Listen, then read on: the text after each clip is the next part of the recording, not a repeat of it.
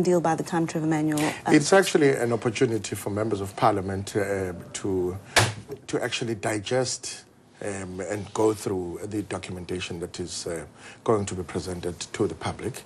And uh, the opportunity for proper engagement is actually after the tabling of the En nou zo bijzonder aan Zeelkampen. Als je de mooiste... Verruk. Hoe is dat nou? Ready? Okay. Go. Ta-da!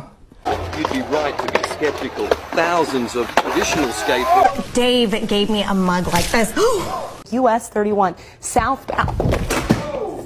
Your average I think, yeah, I think we do, we do have his description. Can we take that? Let's take his description.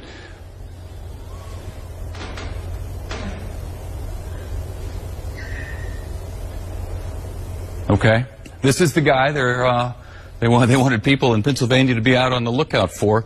He's got, uh, well, he's got a nose and some hair that goes like that, and he was, uh, he was wearing a hat at the time of this particular particular crime. It's got kind of a chin that comes down to a almost a point. Stands about five feet four inches tall. There it is. Get a good look for yourself. Oh, and now I'm getting word that police actually caught this guy, thanks to the sketch, no doubt.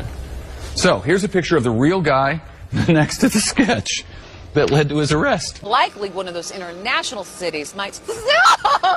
The They say no matter what, just have fun, use your hands, and make sure you steer.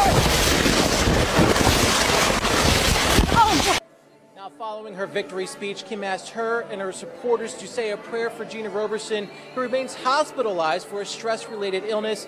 Kim says her and Gina will remain friends and work together in this Harrisburg community.